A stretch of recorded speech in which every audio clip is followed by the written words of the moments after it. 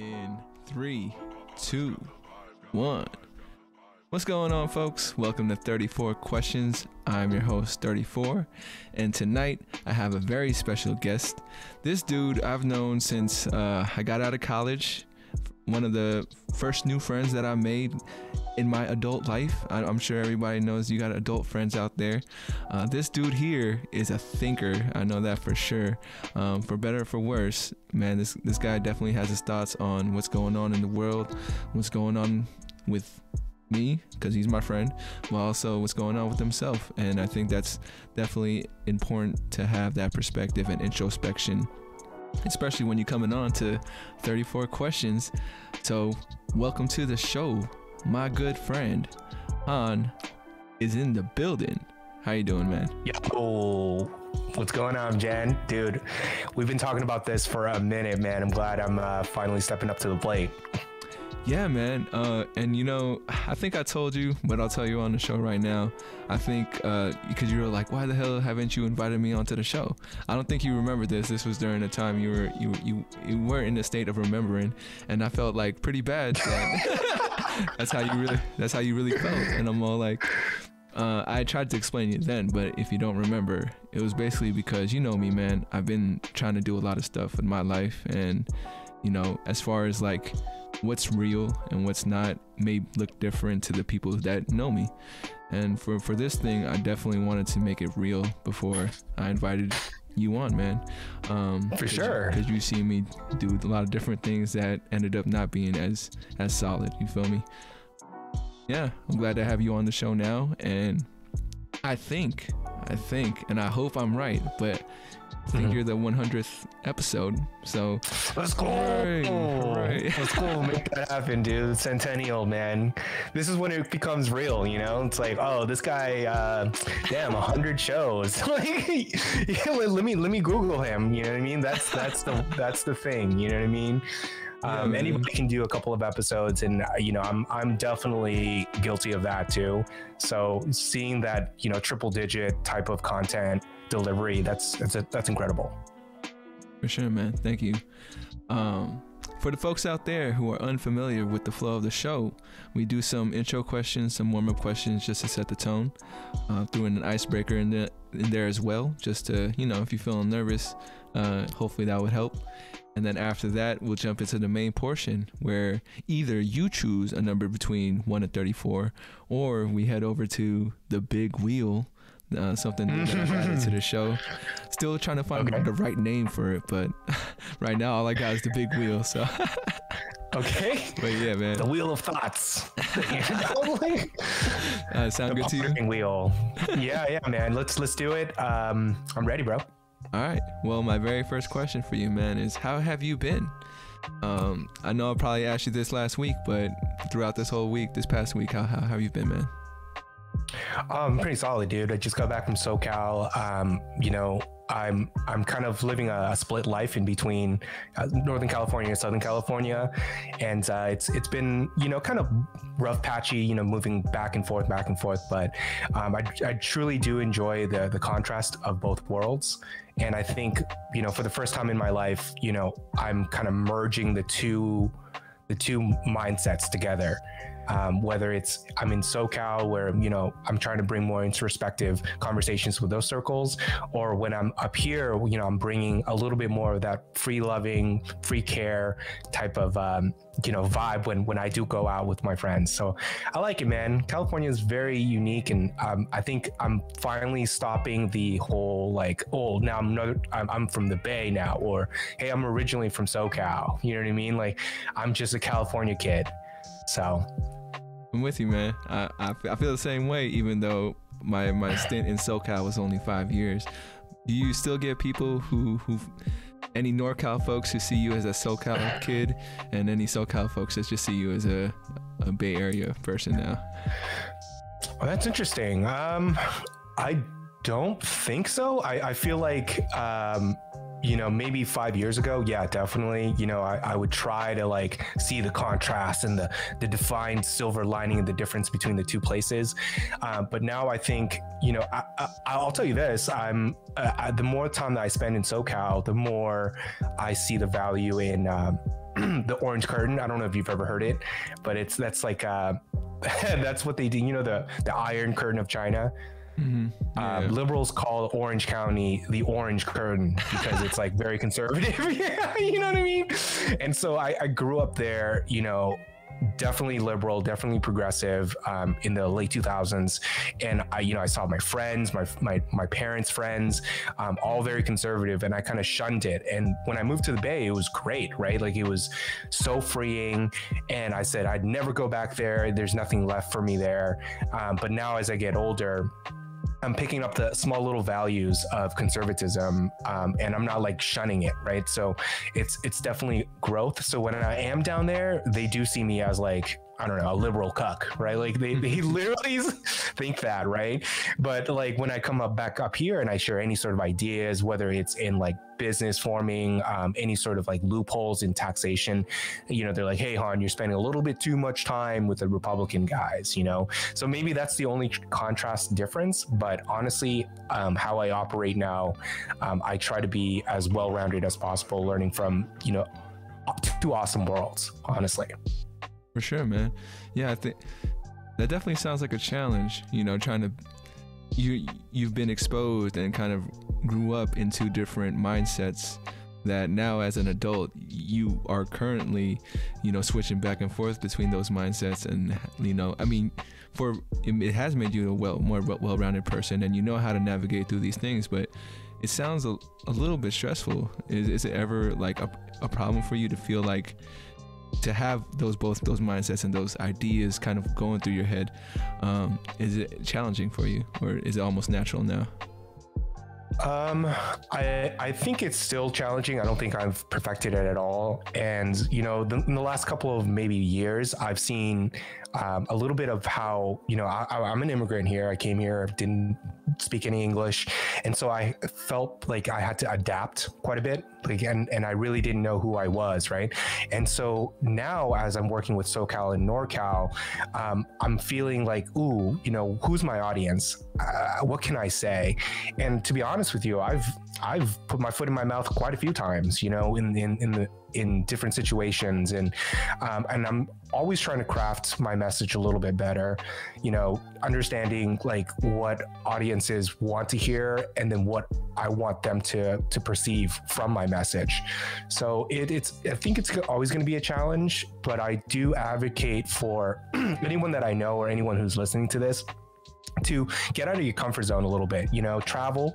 Um, I think the the percentage of Americans under 30 um, who have passports have dropped quite a bit, and I think that that's going to contribute to a lot of division in coming in the future. Right? If you stay in your your comfy zone quite a bit, you don't have opportunities to understand uh, opposing thoughts, opposing ideas, and you know you, you kind of get locked into this echo chamber. So I, I think you know that's something that I'm gonna. If if anyone were to listen to this, I'd advocate to like, dude, get out there, be uncomfortable. if you're like a San Franciscan, go to like a super conservative sports bar and you know see see if you can handle the conversations see if you can finesse it you know um, those topics with them and vice versa you know um, let's let's stop with the like textbook what is it called? Cover like judging the cover quite mm-hmm. a bit you know and categorizing them. Um, i think that's going to be like my my challenge my uh, social challenge for myself in in the coming years. Yeah it's just get more uncomfortable and then see if i can um, kind of link everyone together. You know what i mean? With being me in the middle. You feel me? I yeah. feel you man. I feel you.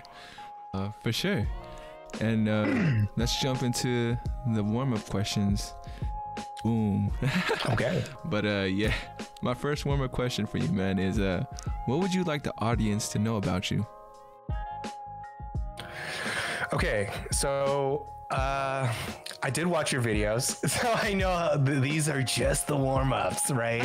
so these are just the warm ups. Um, so I think what I'd like for everyone to know is I am trying to be I don't want to use the word open minded, but I'm trying my best to see everyone's perspective, right? So if you can come in um, with more of an educational tone when, when you meet me or when we, we're, we're conversing, it's going to be so fruitful right? Because that's where I'm trying to come in as. And if, and if I don't, I'd love for anybody to, to, to check me. So I'm not saying that I'm open minded, but I'm saying that I am aware that is that is something that I'm working on.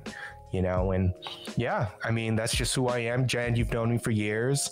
Um, you've definitely seen the topics that we cover, and sometimes I get heated, right? But at the end of the day, once I sleep on it, um, I usually kind of find that center, find the balance. So, no, for sure, man. Uh, and yeah, I think one thing that I will say to everyone out there is that even though you are you are passionate about your stance and your opinions, I don't think I've ever known you to be a person who isn't open to to to new information or to making more of an informed choice. Uh, so yeah, I think that's that's definitely something that at least for me, I definitely value in you. You know, it because it helps me too. It helps me not be so one sided. It helps me be more well rounded. It helps me, you know, I think through our conversations, the biggest thing I, as I, I always get, because I do enjoy seeing all the perspectives, is that you've actually done the work and, you know, you're, you're just giving me that information in a way I can understand it, um, which I mean, honestly, I think helps me be more aware of what's going on um, in different uh, different industries, different topics, uh, just different ideas that that you always seem to come across, and I just haven't had to taken the time to to either find it for myself or educate myself. So definitely appreciate you, you know, being there teaching me, bro. Like, that's what Yo, it's a two way street, bro. It's a two way street, you know. And uh, when, when I first met you, I was definitely like, even even when I met Frank and all that, I was definitely data driven and like very brutal in business. And, you know, definitely the Bay Area softened me up, and you were a, a, huge contributor of that. They, you know, very much more of like, hey, you know, let's be, let, I guess, be open. Let's let's be compassionate. Let's what do they call it? Lead with compassion or whatever. You know, mm-hmm. like that. That was huge for me, and so um, yeah, man, I appreciate that a lot. You know, with, without folks like you guys, uh, you, um, even Frank, for example, like I don't think I would be as well rounded or like a fucking human being, to be honest. You know what I mean? I was very much like business money driven. So, for sure, man, for sure. I mean, and you know that's why our energies were brought together to to help out help each other out. You feel me? Um, yep, yep. Second question for you, man, is uh Ooh, here we go. If someone were to pay you a tribute, how would you like to be honored? So you know, if uh if I was gonna tell myself today I'd do some kind of act in honor of Han, what what could I do for you, man? Now, am I dead or or nah, or I'm still like roaming around. Shoot, man, maybe you've just been, uh, you know, in another country for so long, and you know, I just felt like it was Han's birthday. Let me let me do something just to send that Ooh, energy to you. I, I like that. I like that. If if my birthday was a day to do a tribute, I think I'd go back to um, my original statement, which is like to, to be open and like to, to challenge yourself, right? So if if it was up to me, it it'd be one speak with someone or talk with someone who you wouldn't normally do and find a connection find something relatable okay and then you know I have Vietnamese blood in me, and we we're not going to talk about it too deeply, but like we party quite a bit, mm-hmm. right? So a tribute day for me would be like, all right, let's get a little bit turned, but then let's like really talk about our future. It's really like a big contrast, but I'd like to to have fun, understand that you are, you know, you you are just a speck in the, the timeline of, of of life right so you're not that important but it's still important for you to um, forward whatever this is that we, we call like this fucking um, revolving fucking rock in in the sky. You know i want i want to make everyone feel like hey even though it's just helping a lady across the street getting her groceries whatever it is you're contributing to the, the forwardness of society and and of, of, of our civilization. So yeah. For sure man. Oh now yeah, we yeah, know. yeah. Now we know. Now we know what to do in, in your honor. And, uh, yeah man. I mean i'm I think more and more, and uh, this is gonna sound really hippie, but uh, you know, I'm, okay. I'm, really believing in energy, you know, and you know how like uh, crystals. no, no, no. I'm just, I'm kidding. I'm kidding. Yeah, yeah, yeah, yeah. So energy. Okay. Well- like, what do you mean? Like radiating energy? Like, what? What are you talking about? What do you would particularly? I'm thinking of like, you know how how people's you know, the scientists out there they'd be like, uh, matter can't be created or destroyed. It's just there, and like it just changes Mhm. forms, right? Uh, I think that has something to do with it, in in my opinion. Um, I think energy in the sense of like when someone thinks of you, like what is attached to that? You know, what what, what kind of connotation is that part of? You know, if if someone was like when you think of I don't know, you think of uh, your parents. There is a certain kind of emotion that comes along with that, you know. Uh, Sure. Versus you think of your your teacher when you were as a kid, you know, diff- different th- Sure. emotions are attached. So that kind of energy as well. And you know, I told you this, and it's a pretty corny thing. Like, you know, you watched Avatar: The Airbender, and like when there's that This is my shit, dude. Like minimum five times rewatch, dude. Are you kidding me? yeah, yeah, yeah, yeah, yeah. but you know, Aang standing there, have all the avatars behind him, and like you know, that's it's like that's his army, right, or whatever. Yep. Uh, yep.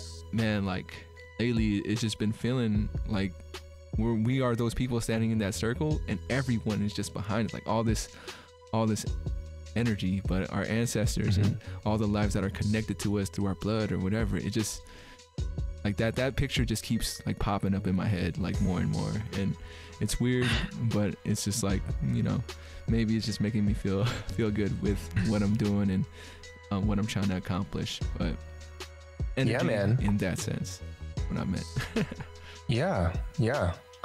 but yeah, So- and So did you do you have a question? I'm sorry. What, oh no no. what, So, what was the question? so no, sometimes I just bring stuff up because it's like you know me adding to the Sure. conversation. You, you Sure. Dude, I'll. I'll, and I'll, I'll add on to it too. Two two parts to that, right? Um, scientifically, you, you know, well, religiously, spiritually, I, I, you know, I identify as Buddhist because it's easy to consume in Western culture.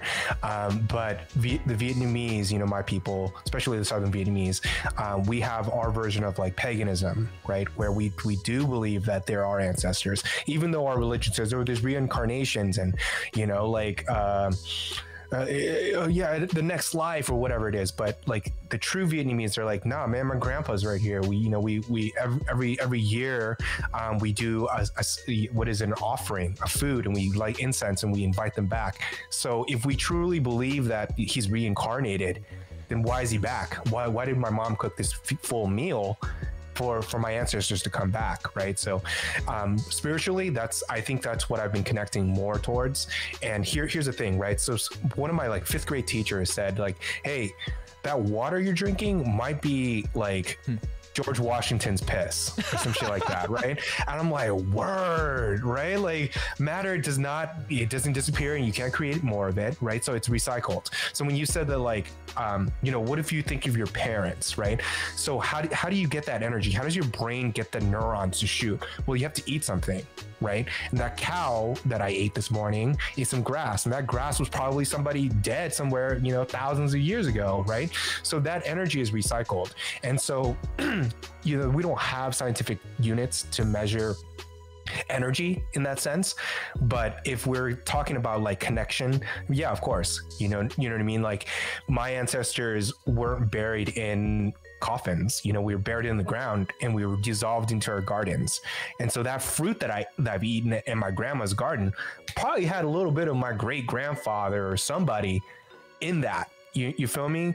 So it, yeah there is energy. I and, and i'm, I'm going to tell you this now like as i get a little bit older um, groups of people that i hang out with certain groups exude energy that excite me. I don't even know why. We're not doing much we're not talking much but i'm just there and i can feel it right? And so I think as we get older and more keen to it, as um, the the noise, you know what I mean. Like for example, the newest noise right now is social media, right? That as you remove yourself away from the noise, you start to sense these energies a little bit stronger.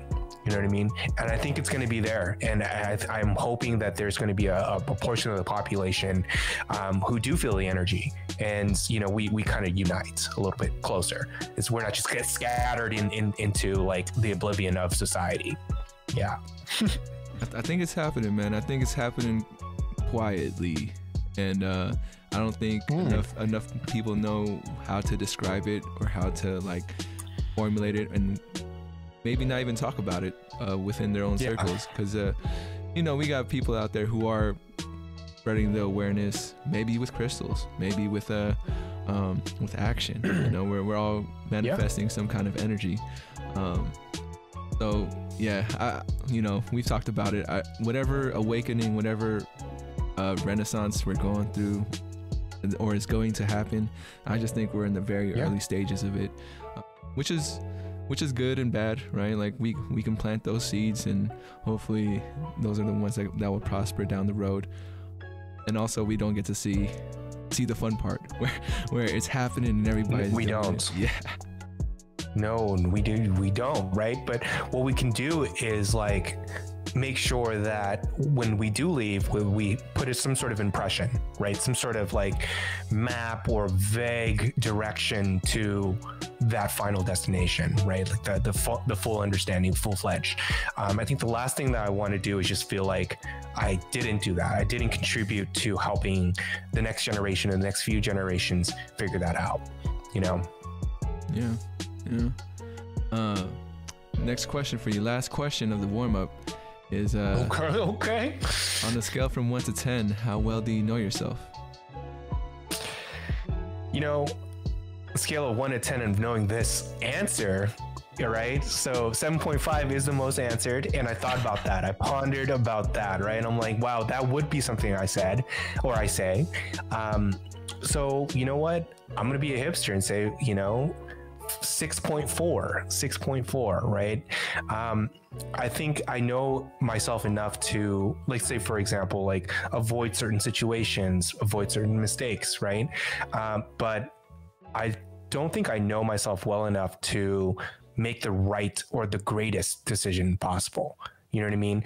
Um, I still, you know, stay up and ponder like, well, what if I did this? What if I did that? And I don't think that's going to end until maybe later in my life, where like, you know, there's, I've just laid enough bricks down my journey that I'm like, okay, you know what? This is my, this is my journey. This is my road.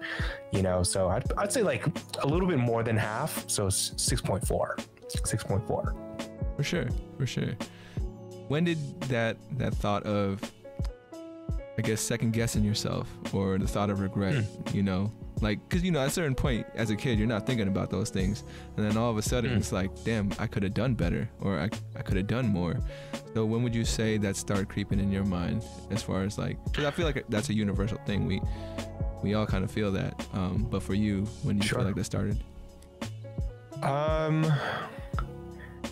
I think my first like big episode of that uh, was in my first career, and um, you know, the people who I looked up to, my mentors at the time, they're fantastic. However, they didn't make great decisions themselves, right?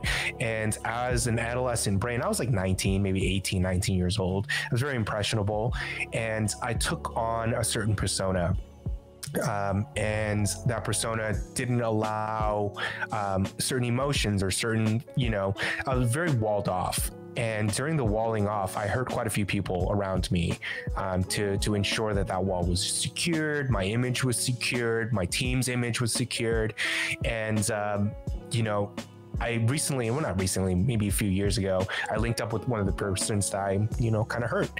And um, I definitely feel that remorse. You know what I mean? That, oh man, I, I should have fought back. Like I shouldn't have just stood there because like you, you you know that feeling when you're a part of the cool group, but then when the cool group leader does something bad and you have no balls to say like yo maybe that's wrong, like that's why that's the feeling of remorse that I hold dearly. So maybe, you know, everyone says like, you know, don't feel regret, feel remorse. Because I don't regret not going through that. Because in today's time, like if I if I see an injustice or if I see some sort of bullying or whatever, whatever it is in social circles, um, that remorse feeling goes comes up and it's like oh you you you're gonna be a bitch again? You know are you gonna do something about it. You know what i mean? So that's definitely driven me to be way more outspoken um, and you know to, to kind of create the, the the personality that i have or at least social personality that i have Man. That's some uh, that's some good awareness of yourself right there. yeah, I guess. Yeah, Six- yeah. Six point five, man. That's six point four. But uh, Oh, for sure, for sure. At least, at least, at least. and uh, my last follow up for that is, what would you say Hmm. is your favorite thing about your personality? Your fear. Oh, I don't think I remember this question. I don't really remember. Um, I, I think, uh, you know, just to start off with, I'm I'm my biggest critic. So like when I when the the question is like, uh, what do you like about yourself, right? And I'm like, oh, I don't know if I like anything about myself fully, you know. Um, but I think I the, the one thing that that the, a survival tool that I think um, I've sharpened throughout the years quite well is uh, I'm quite adaptable in social situations, right? Like um, I was the, the the nerd that went to to like went to Boy Scouts and hella kids picked on me, um, but I adapted to that, right? Um, I, I went to fashion. I was a fat little, you know, brown kid. I adapted to that, and um, I think my my the biggest tool for me is like so, number one self deprecation in in like awkward situations. Like I I can like lower myself down, and then number two, um, essentially like break the um, the ice. You know what I mean? Like I can be the guy that is not like not harmful. I don't know what it is. Like I'm I'm this. You know what I mean? Like at parties or whatever um, I will try to attach myself. This is something I've just been self aware of, you know, in the recent years, is I can attach myself to the introverts much faster than like going in the crowd and be like, hey, who, who, there's me, you know, like let me include myself into the conversation that's already on fire. You know, like I'm I'm very much more of like, okay, where where can I light a fire in in in a situation? Let me go to the introverts. Let me have let me strike a conversation. Let me get deep with them, right? Let me create this bond so then I can be a part of this ecosystem and not like try to take over it. You know what I mean? I'm like the guy who waters the garden versus the guy who comes in with fire or like harvest time. You know what I mean? Um, so that's a, a tool that I can sharp, I sharpen all the time. And uh, to be very realistic, like I definitely use my skin color. You know, I'm an Asian. He's harmless. He's you know, he, he's not a threat. He's non-threatening. So I use that to kind of get in. And to, I mean, I hope that my partners aren't listening to this, but like, yo, man, I've got a, a lot of deals. You know, I've wheeled myself into situations, um, agreements, contracts that I'm not supposed to be a part of. You know what I mean? And I, I do, I definitely utilize that skill to do that. Word, man. That's your camouflage or your Trojan That's my camouflage, right? right? I'm harmless. you feel me? Yeah. Um, but yeah, I hope I hope that was a good answer. I don't know. No, man, that was, that was great. That was great. Uh, one one thing you had mentioned that brought up something for me was uh, recently you was talking Mm-hmm. You go to a party, you see the extroverts versus the introverts. Not not versus, but you just see how they're scattered. Right. Um, you know, for me, what I've noticed li- lately is when I'm in a group or I'm at a party and I do see the extroverts as well. And it's not that, you know, I can't get down with them as much as I do with the introverts, but when I am in a group of extroverts, it something that I've noticed and actually brought up to another guest was that it almost feels like there's a competition or I feel like there's there's some kind of pressure of like who's gonna hold the attention who's gonna tell the story and like where does it go from there you know like does the does the torch get passed or is one person holding the torch the whole time uh, just something I've noticed Hmm. and that's why I think you know I gravitate towards these one-on-one conversations more is because I can have I can give my full attention to just one person. And also if I feel like I, I want to be heard then I can speak and feel like I'm heard. Versus in a group where I'm a lot more closed off or a lot more silent because I think at that point for me I feel like my role is just to listen. And um, you know if if there's nothing for me to really add that I don't think is valuable then I'm, I'm pretty much going to be quiet because everyone's saying everything I, I don't like repeating you know the same information or like you know circle jerk or whatever um yeah Yes. so that's where I yeah, man. Yeah, I mean, I, I definitely see that in you. You know what I mean? Um, there's just certain people who, um, and I'm not going to say like this is just a, like, this is a big generalization, but uh, when when I do see big groups and there's someone who's hungry for the the attention or the the limelight, uh, maybe they're not getting enough of it in, in their regular life, and this is their showtime. You know what I mean? They're putting on their tapping shoes, and this is where they they get their affirmation. Um, and I, I mean, I used to do that. They, they they used to be, you know, they call they used to call me like preacher because like you know I'll I'll definitely get on a subject, especially when I'm intoxicated, and I go I go too much in, you know too introspectively, and it's definitely harmed my my social credit, you know, and I, I have definitely backed off on that. I don't think like everyone is ready to to. I don't like myself doing that. You know what I mean? Mm. Like it's, it's not as beneficial uh, as it was when I was a, a younger a younger kid. Yeah. Word, man. I think I am one of those people who who calls you a preacher. Um, Dude. Yeah, yeah. If I was more religious, I would definitely be a pastor for sure. Which one's the one with the, the wife and kids? Yeah, I want that one. A, you know I mean? a deacon, yeah. a deacon, yes. But yeah, man, I didn't know that's you how know, you felt like, about it, man. Um, because you know, I I say it in uh, what's it called?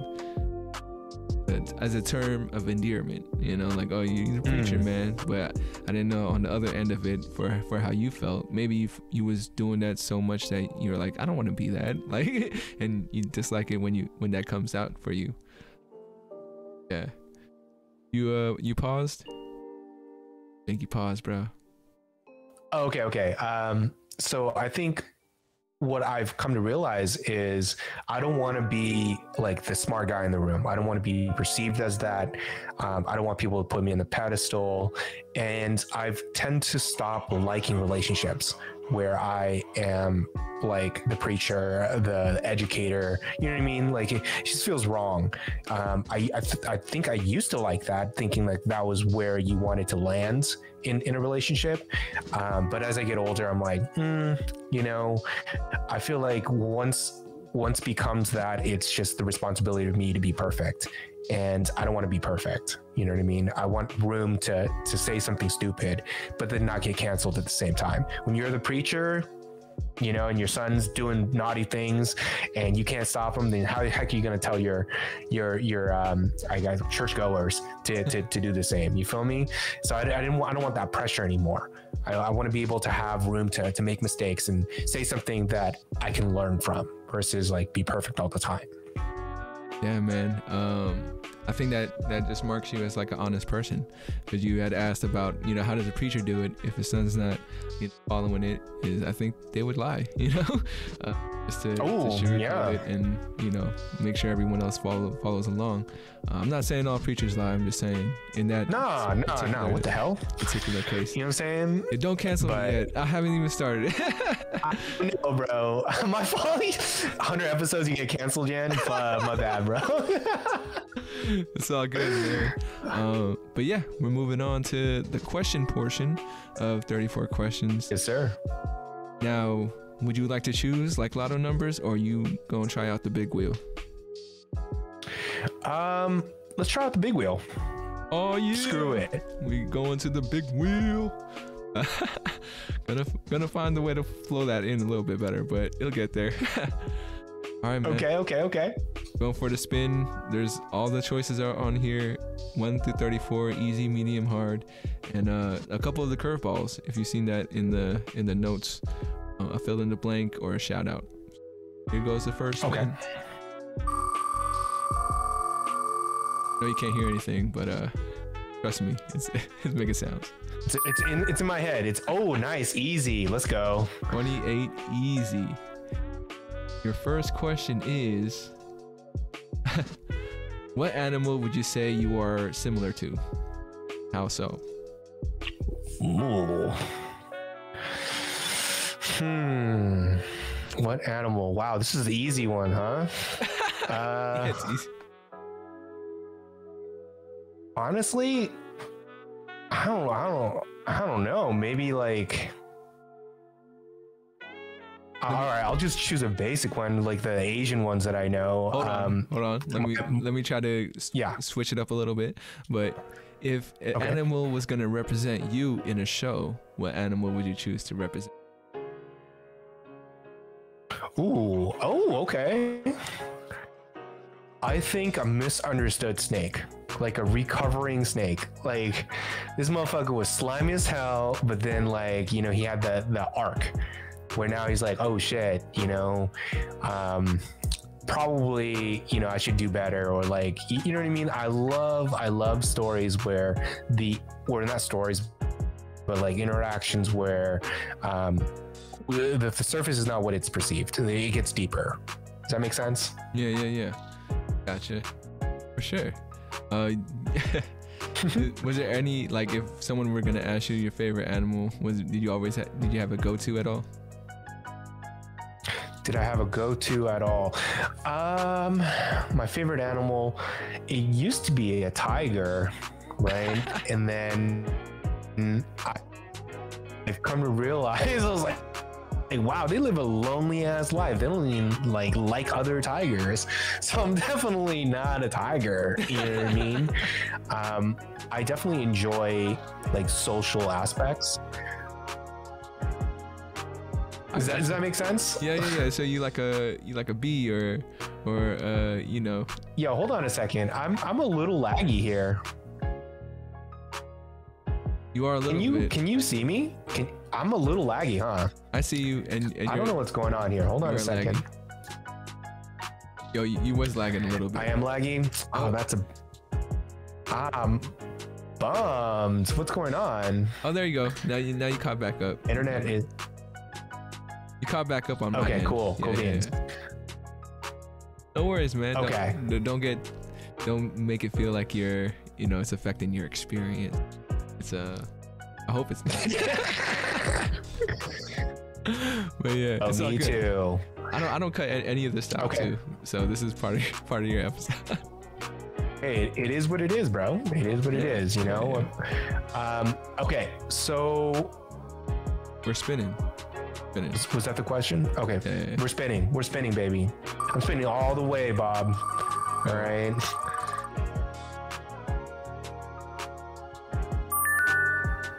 Twenty nine medium. Moving on up. Okay. Go. What is out of your control? What is out of my control? I think I think my my career in a sense is out of my control. I think I can only do as much as I can day to day to build it up. Um, I don't think I have like full control over like what happens, right? So I'm very much client facing. I'm I'm a one man show. I have like one transaction coordinator, um, but it's all on me, right? Um, so I can do as much as I can. I can put it out there. I can ensure that like, um, you know, my clients like what what they see, yada yada. But at the end of the day, um, I can only do so much, and I can only climb so much. And so, what's going to happen to me is my career is going to end like my my professional career, which is real estate. Um, it's going to end up where it wants to end up. Um, but I want to make sure that my life isn't dedicated to like just making money because real estate is just money. You know what I mean? Um, I love putting people into homes. And I love those interactions, right? Like helping people. Um, I love when clients have no idea how to buy a house and I'm in there with them. I'm I'm right there. I walk them through and we find a beautiful, you know, property that fits all their needs, right? And I'm I think I've come to realize I'm addicted to that feeling more than I am the money, right? And so so someone someone asked me it's like, "Hey, well, you know, what would you do if like money wasn't an issue? You know like you had infinite of it what would you be doing? Um you you you, you know what i want to do? I want to travel and then like low key just like give money away because like stop like you can give someone a hug you can help them out a little bit but money revolves you know it, it runs the world right so no matter how much you're giving your time uh, money is always going to be super beneficial to whoever, whoever the asset is right so I'd love to be able to to just hand dough out to, to not just people in the United States, but like um, you know people around the world. Um, and I think the one tragedy that we don't talk about enough are orphans. You know, and American orphans already bad enough, but like international folks i've seen them orphanages are terribly run right like they're they're kind of like pushed outside of the realm of like visual society so i think that's that's going to be something that i, I definitely want to do um, but i don't have control of my my career i don't don't want to feel like I have control. People who try to stranglehold their their career and be like, okay, this is what I'm going to do next, next, next, next, next. Um, usually, kind of, uh, what do they call it? Foul out. You know what I mean? Like they're they're going to strike out. It's it's um it's something that I've learned. I've, it's something that I've seen in my mentors where they like kind of tear themselves up just to to get you know whatever success that it is i'm going to ride it through as long as i have money coming in um, i'm, I'm going to be helping folks out i'm going to try to do uh, what do they call it fulfillment like mm-hmm. waves you know what i mean i want to feel a little bit fulfilled i'm not going to be some fucking guy who gives all his money away but like just having a conversation with somebody and slipping them a 20 you know what I mean? Like that that I see, especially in SF. You know, like um, I I don't want to tell the story, but long story short, there was a we're having brunch. You know, homeless guy comes up. You know, the majority of the party ignores him. He's just standing there. I think he's asking for money. I get up hey, light the cigarette. Let's have a conversation over the, the other side. And we just chopped it up. And I, th- I, think that human side of like, yo, I'm not treating you as like a, a, a charity, but I'm not going to give you the fucking power to just stand over us and intimidate us. It, and I think that moment there gave that person a little bit of like humanity. You know what I mean? Like, you can't just be a dick but also this guy respects you, sees you, is not ignoring you. And then after the conversation, boom, just you know, hand him a little twenty, and I, and and I felt good. I don't give a fuck if he does drugs with it or, or whatever. You feel me? Like a lot of people are like, oh, just give him food. It's like, well, I mean, the food can spoil in a few days. What if he's high as hell and he's not hungry? You know what I mean? Like, um, those are the thoughts that I have. And I think money, I used to think money was everything. Then I thought money was nothing. Now I have like that balance. You know what I mean? Like, money can get other, you know, can get help um, where you know, just your effort and your time can't. I gotcha. I gotcha. Yeah, man. I mean, yeah, you made me think of some things there. Um, oh, for sure. Yeah, yeah. Uh, but I feel like I should save that for more of a one-on-one conversation. So yeah, yeah, yeah. I know. I might be getting a little deep, deep on that one. You know what I'm saying? But that's, not, that, that's perfect, man. That's perfect.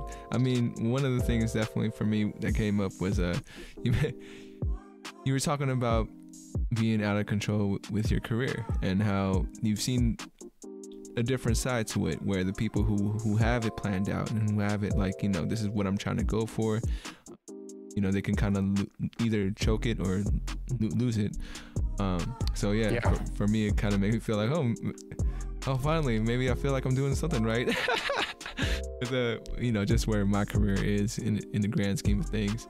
But um, yeah, I know you're lagging right now, so it, it was kind of. Yo, Jen, are you? Am I back? Yeah, yeah, I can hear you. I can hear you. Yeah, well, you know, I, I definitely wanted uh, that mistake that was on purpose, so then Jan can put in his sponsors. You know, today's sponsored is uh, Manscaped. You know, if you feeling a little down, if uh, you feeling like your groove is off, your vibe is off, you know what I'm saying? Get them snippers, go into your tub you know, give a little little fade down there. You know what I'm saying? You're feeling ready. You're ready to go. So uh, yeah, manscaped.com. oh yeah, and uh, you know, if you if you're having any trouble with your energy in the bedroom, um, you should use my code for Blue Chew. Blue Chew, you know. what do they call it? Uh, run that choo choo train through your, your girl. You know what I'm saying? Get her, get her that Amtrak ticket. You know what I'm saying? The annual ticket with BlueChew.com. You know. Shout out Flagrant Two for uh for their Shout out Flagrant Two for that one yo, you, you watch Flagrant too? That yo, man, that's that's one of my favorite like group of guys. They they just have great conversation, dude. Yeah, man. Mm. Um, yeah, honestly, like I just enjoy them being themselves. If I don't know if they are doing characters, but if they are, I, I can't tell, and I guess that that makes it even better for them. Um, they just got that chemistry and flow. So. Yeah, yeah, yeah. I don't. I think like ninety percent that those are not characters. Like I think ninety percent. You know what I mean? They got to play a little bit to the camera. Yeah, yeah, a little. When when they do their sponsorships, I'm sure. But, or or maybe that's really them because they're having so much fun with it. I, I don't know. But if I, I think one of the rules is not to read like everything, and and that what a what a fantastic. I think content creators like yourself, I think the a notch on to tell to to kind of let you know that you're in control of your media and you're in control of your your life is when sponsors say, you know you don't have to do this readout. Do it in your own style. You feel me? Coming from advertising, like copywriting is everything. A certain word changed is like totally different meaning. So when you're when your client says, forget about it, just do it yourself because we trust you like that, that's huge. Yeah. I think that you you've lightly made it, you know, if, if you if you can get to that stage. No, for sure, for sure. I I would love to get to that point where I don't feel like I'm I'm, I'm a robot voice, you know, for somebody else. Right. Oh. Yeah. But uh, yeah, man. Or the pre-reads. Pre. Um, I, I I don't know if I told you that Shave My Balls reached out to me to to do the thing, but but it's, it's one of those things where it's like uh, you know, they got a bot sending out these invites to do it. Uh, it was just funny to, to read Shave My Balls reaching out and saying, "Hey, could you?" Wow. Hella funny. But obviously, I didn't do it because I don't have a code. And yeah, I mean, Google Google how to shave your balls. I'm sure you, will find a way to do it for free or low cost. Oh my god. um, anyways, man, let's jump back into the podcast. We have only okay. about 10, 15 minutes left. Just a heads up. Okay. Uh, but wanted cool. to thank you again for for stopping by. Uh, you know, being a part of the helping, man. helping me build this thing, man. Definitely appreciate it. Uh, here we go.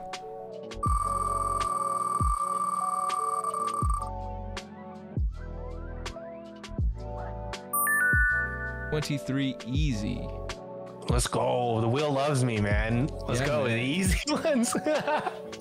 uh, twenty-three easy is. What does unconditional love look like for you? Um, I think, I think I'm definitely manic. Like once you get to know me, like I, I have fantastic days, and then I have days where like, uh, you know, I doubt everything. I, I don't know if any of the shit that I've built up is worth it. You know what I mean? Like it's very I I don't want to connect it to like the artistic self demising personality or whatever but i think unconditional love would be like okay a person who who can definitely handle that. I don't want to say handle but like understand like oh shit okay he's going through that. Um you know you got to take it on the best days and the good days. Like that's I, I think that's what unconditional love would be for me. It's it's like look dude like I don't care if I do the dishes, I cook, I clean. It doesn't matter. Like the, the, the what do they call it? The the postmodern expectations of of of sexes or whatever. Um, I think it's more of like, can you handle uh, when I'm introspective and I want to have a conversation about like what's going on with France, what's going on in Cuba, what's going on in in um, Haiti right now. But then at the same time, it's like, yo, it's Saturday. Um, the homies are going out. Are you down to party? You know, like, are, are you, you know what I mean? So it's like the waves of me are inconsistent. And I, I see it even in my parents. Um, I see it in my like heritage on both families. So it's not going to be a phase. So I think unconditional love will will see it as like, okay, Han's going through this. Uh, I'm gonna support him, and you know he's not gonna be wild, but like I'm not gonna like put it on him like oh yo remember that bad day that you had? Or like remember you know you know what i mean? More more of like the forgiving like oh okay. He's just on he's just on one of the one of his episodes. You know what i mean? Um, and i don't have those a lot but when i do i feel like uh, the unconditional love needs to be there. Yeah. For sure man. For sure. Uh, you know you was talking about having having these episodes or you feel like you notice a shift in yourself when the good days and bad days you think yeah. it's it's more more to the average like person or more more than the average person having having gifts or you know these episodes? Um to be honest with you, as as the years went by, it's gotten a lot better. Um, I, you know, I don't, I don't have them as frequently, and I think it's because I've removed myself away from environments that put me into those episodes. Um, whether it's like going against my morals or making me um, go against like my non-negotiables. You know what I mean? Um, the more that I remove myself away from those people, those environments, I've gone way less episodes on that. You know what I mean? Like whether my boss, like I, I have I have bosses right now, I have mentors right now, um, and you know they understand they they have unconditional love for me, and I think that's what I I appreciate. Why like I'm so loyal to them, um, but yeah, so I think nowadays I, I, it's way less, um, and I can control them. And I if I wake up, and and it is mildly part of like depression and like the uncertainties. Like you know how um, because we're in the social media realm, where the information world, you know, knowledge world, we feel like we have to keep up with everything. Um, and sometimes I do have days like that where I'm like, dude, I need to catch up. Well, what the heck is going on over here? Blah blah blah. This connects to my business. It connects to to my personal life. This is what I'm investing in the future. And then I'll have an episode where I'm like, dude, I I can't control any of this. Um, you know, this sucks. What if my moves are bad? And nowadays, I kind of remove myself away from that. I've become a zoo goer versus a zoo attendant. You know what I mean? I don't feel like I need to clean up after shit. I don't feel like I need to put the energy in to make sure the whales are happy, the, the elephants are happy. Like I'm just a zoo goer now. Like whenever I enter like information world, you know, like whenever I visit social media, I don't feel like, oh, I gotta, I gotta voice my concern. I gotta show, you know, I gotta, I gotta save the world. I, I, I don't do that anymore. I'm more of a visitor. And, you know, just because you're a zoo goer, I'm not chomping on popcorns and corn dogs, right? I'm, I'm kind of understanding what's going on. Are, are the lions happy? Or is everyone happy? And then what can I do personally to benefit from it?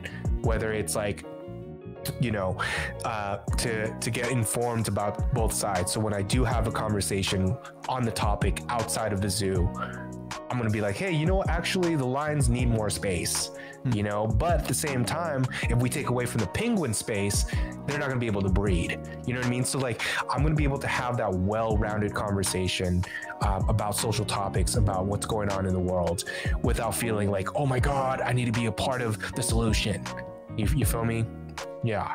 I got you i got you yeah uh, it kind of just made me think about like what am i doing in the zoo and uh, right now I feel like I'm I'm the dude holding the microphone and, and bringing it up to people's faces. So that's where I'm at. So how, how do you like the zoo? I mean, you know, is the expansion great? Have you guys seen it? Like, how does how does the zoo make you feel? like, how does it make you feel today? You know? Show man. All right, there we go. There um, it is. Uh, I like I said, all this stuff is pretty new. Uh, still getting used yeah. to pushing buttons, and but I like it. I like sh- this is the candid part of it. But we made it to the final stretch of 34 Let's go. questions. Um, got some closeout questions for you, but before we do that, there's this new thing called the 34th mantra. I think you've seen that in the notes, but uh, it mm. is a hmm. mantra that I would like guests to create on the show. Um, and all you have to do is fill in the phrases, which are I am, I can, I will. So I am blank, I can blank, I will blank. How would you fill that in for yourself? Okay. Um Okay, so first one is I am, right? I am content. That's that's one thing that I've been meditating on so I don't get like bum rushed into like the, the rat race of making money and like comparison, right? The more time that I spend in SoCal, the more I'm like, oh shit, where's my Tezzy? You know, where's where's this, where's that? And so I've been working if I'm going to operate in that world and be closer to my parents and, you know, kind of um, be comfortable in Southern California, I need to to remind myself that I am content, you know like i i am okay. I'm, I'm i don't need more but like i can live with less. So it's it's fine. So okay that's i am. What's the next one? I can. I can. Oh okay. Uh I can be better. Sure. You know where, yeah, what, what, whether it's like relationships or my work or how I interact with the world, right? I can always be a little bit better. Um, whether it's kinder, um, more understanding, or even more ruthless to, to to protect the people who I love. You know, I can be better. And the last one for you, man, is I will blank. I will. That's a that's a promise, right? Like that's a thing that hmm. Uh I will survive. Like I don't know. I don't know. Yo, man. you know? that is that is a promise, right? To to yourself. Yeah. Uh, Yeah. I will survive. Well, Isn't that a song? That's a song. That's a Aretha Franklin song or something. it is a I song. forgot. I'm not very musically inclined. Yeah, yeah, yeah. Um, nah, man. I mean, I mean, if it fits you, it fits you, and uh, if that's the truth for you, that's the truth. Now you have uh, this little soundbite of yourself. You know, uh, if you ever need to be reminded that you are content, uh, you can do better, and you will survive, man. So For sure. Appreciate that. no worries, man.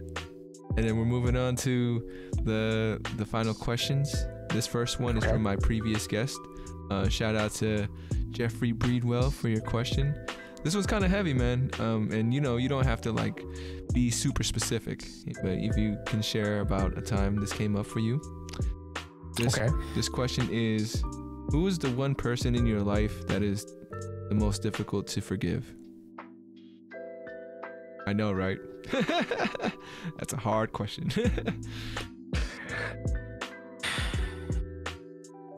forgive.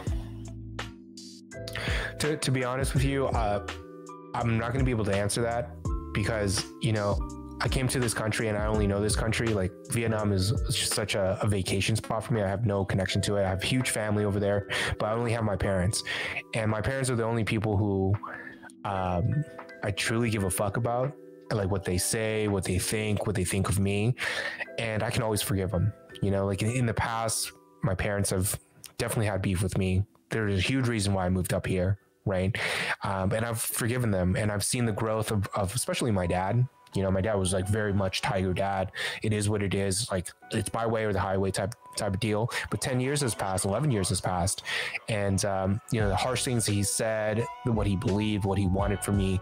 Um, he's definitely softened up, and I I don't think I've for, like I need to forgive him but I'm glad that I never was like, this is over, you know, you know what I mean? Like, I can never forgive you.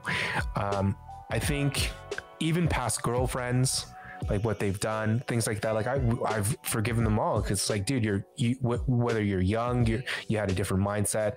Um, I think al- also my spirituality and my religion doesn't allow me to like not forgive somebody. You know what I mean? I can avoid them, but I'm not gonna like blame them for doing that to me, especially in business too. You know, like I think in business, um, people definitely screwed me over, taking not taking the money, but the taking you know taking advantage of me. Um, but at the end of the day, how how do how does this someone move on, and how how do you like not have that failure or that um, betrayal define you? Is you move on, you try to understand why they did it. Well, hey, he, he had a new kid coming. Um, he had different goals, you know, hardships in his life. Sure, he can screw me over. I'm well, that's fine. Like I, I understand it. I need to move on. Like being unforgivable, I don't think anyone's ever done anything that's unforgivable. Joe, man. Um, thank you for for sharing that. Yeah, th- this question is pretty bananas. uh, when I was talking about sure. with, with Jeffrey, he was like, you know, they might want to pass, but uh, yeah, even even like you said, um, thank you I know, for- bitch. Come on, give me your hardest question right now. Oh man, I'd have to think about that. If I had to rank my questions, like you know, Mhm. like for for me, what I'd have to think about that one. Um, but for sure, man. My my second to last question for you is, what would you like to ask the next person that comes on to 34 questions? Uh, let's see. Oh no, you you paused again. Oh, there you go. Am I there? You're there. You're there. Okay, cool. Uh, I definitely didn't say anything while on pause, so we're good there. You know, uh, I would say, you know, what what is your take on how society should be in the future? What's what's one positive thing that you would like to see grow from today's time and see it as like a standard in the future. And I'll give you an example. It's like um, gay marriage. That's fucking normal as hell now, right? Like uh, talking about like depression and, and, and spirituality. That's normal now. I just went to a party and they did a sage cleansing before we, we partied, you know, and I, I was like, oh shit, that's hella tight, you know? So 10 years ago, if I did that, I'm like, oh, you some hippie, you know, boo boo stuff. But now everyone's like, okay, for sure, no drinking before the sage. You know what I mean? So I like that. I, I quite quite like that. So what what is what is something uh, that that is you know emerging now that you would want to see normalized in the future? Yo, that's pretty woke, man. Damn, doing sage like woke. I know the sage cleansing. Uh, makes me feel better though. Yeah, dude, I, like now I feel like I should be that person next time I'm at a, I'm at a party. I'm gonna bring some sage and be like, hold up, we gotta do hold this. up. Just hey, you know, could be the greatest night ever if we like. Dude, I don't know. Eh, if it's not spiritually, it's a, a fucking awesome placebo. You know, it makes everyone chiller. You know what I'm saying? Like everyone understands, like, yo, man, it's good vibes only. So you know, even if they have bad vibes, they don't want to bring it up. You know? Yeah, yeah, I got you. And then my last question for you, man, the question that ties everything together. 500 years from now, our descendants are watching this video. What would you like to tell them? Number one, I hope that the internet connection is better. Uh, uh, and number two, like tell, tell them. I mean, you know, be be both aware of the ultimate timeline you know the 3000 feet above. Watch watch how you affect your environment your society your your social economic like like power but also be present at the same time you know? Um, smile at people uh, uh, be introspective. Don't don't allow yourself to live throughout a day without like checking up on somebody. I, I, I, am that's what I'm trying to do now. You know what I mean? Just check up on your friend. Be like, yo, what's good? What you, what are you doing this weekend? Or like, hey, um, you know, you told me about that job interview a couple weeks ago. How'd that go? You feel me?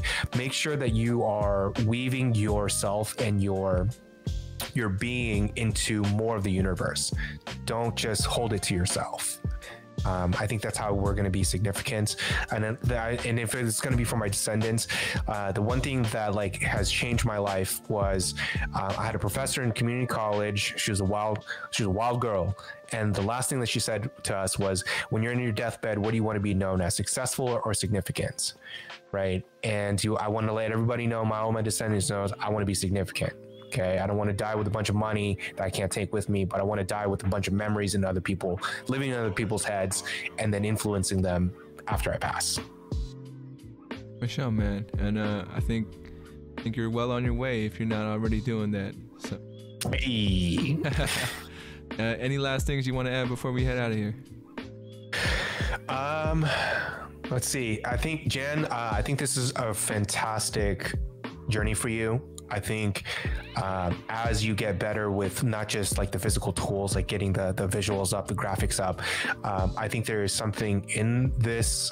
I guess I don't want to call it a bit, uh, but it definitely truly is. Uh, you know something that is going to be valuable. I hope that you do find some some some way to monetize it whether it's like clean your shave your balls or whatever. Like i, I hope that um, you get that steam picked up because uh, your energy is not meant to work at an office or say yes sir or you you feel me?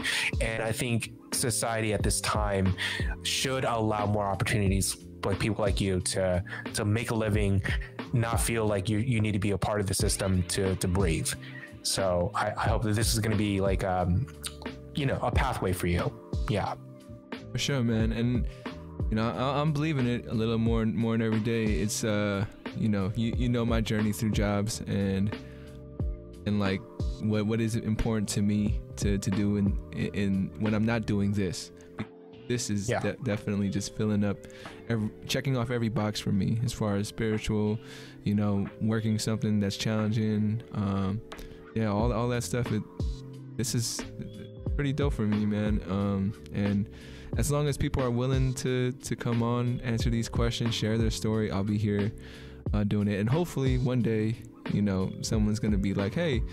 You know, we'll give you money to do this. So, uh, yeah, that's, that's all I'm hoping You- for.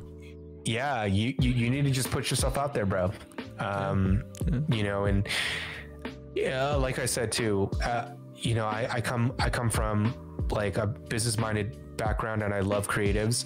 And i think that the final downfall for any creative is how to not i'm sorry not not to learn how to monetize your work right? The, the world does run around money. Don't allow any hippie any woke children to tell you otherwise right? Like you need to have a, a relationship with money. You don't need to lust after it. Um, and for any listener here right? Like don't lust after money. Use it as a partner right? So and, and i think creatives who understand that relationship definitely make it.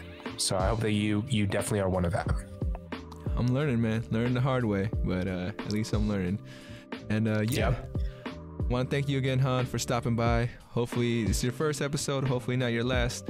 Um, I want to thank all the folks out there who tuned in. If you're listening on Spotify, Apple Music, or catching this on YouTube, thank you as well. If you liked it, go like it. If you loved it, please subscribe and share. Um, remember to reach out, reach forward. As always, much love, and we'll catch you guys next time on 34 Questions. Peace. And then, uh, there you go, man. That was it. Um, Ah, sick. That was dope. I wish my internet was better, man. I don't know what's going on. I, I look like I'm fucking running off of potato Wi-Fi. it's all um, good. It's all good. But yeah, man. Um, I know you kind of gave me feedback already, but anything that stood out to you, anything that you know you felt felt like could be improved on, shoot, go ahead, shoot. Um, I think we're we're comfortable enough to like bounce back and forth, right?